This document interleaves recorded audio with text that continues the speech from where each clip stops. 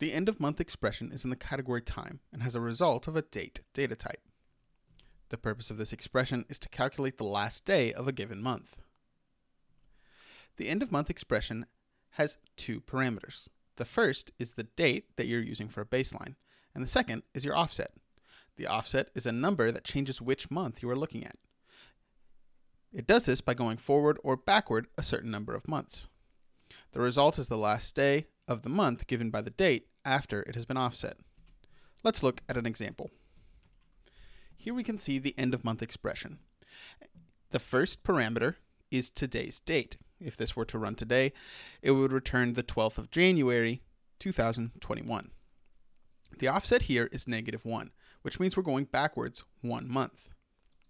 This means we're returning the last day of last month, which would be the 31st of December. If you instead want the first day of next month, you would change this to a 1. This would get the last day of February. If I put 0 here, it would return the last day of this month. I hope that this was helpful. If you would like to learn more, we invite you to check out appsheettraining.com.